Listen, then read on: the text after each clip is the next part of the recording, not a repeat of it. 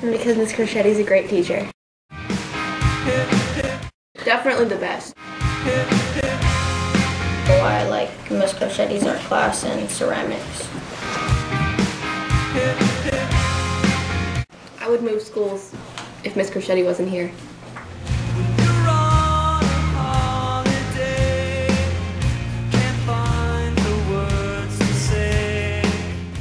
Croccetti rocks. She gave me this apple.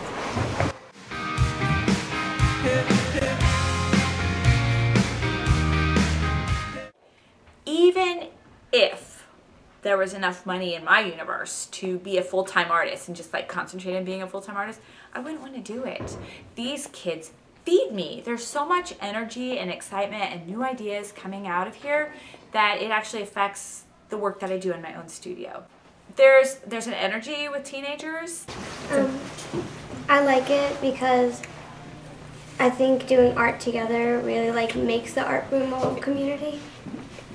I just get to be like a touch point. I'm like this this place where they can count on. It's always going to be um, like I'll always be friendly. It will be a place where they can come in and chill and relax and like if they've had a bad day, they can just start drawing and get that out of their system.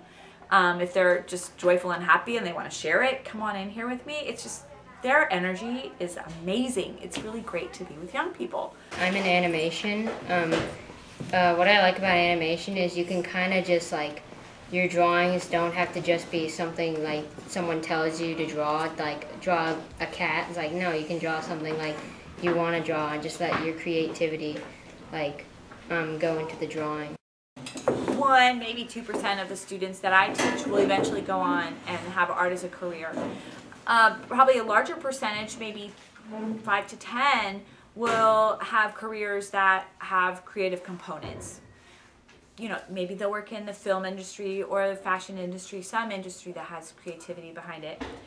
Um, Ms. Croccetti's class, it's a great class. Actually hope to be writing scores for films.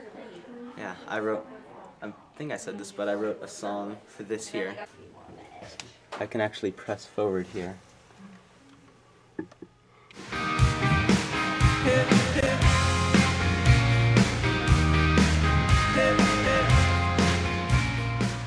I have a passion for art, obviously, and I get to share my passion.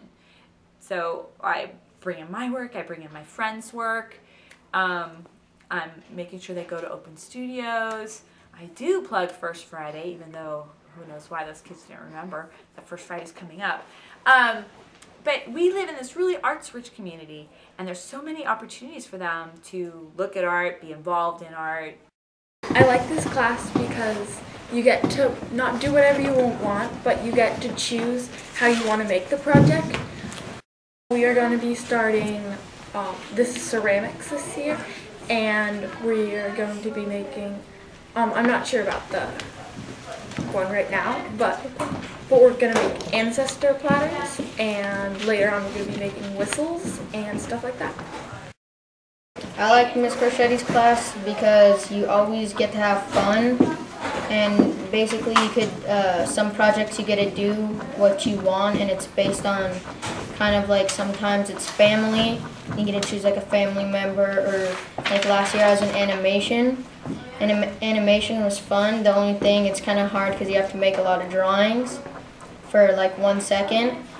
And then uh, this is my first year doing ceramics and I'm really looking forward to it so I'm not insular in my classroom. I'm more about getting the kids' artwork out there so our community sees what my students are doing and they can feel like they're part of this community of contributing artists.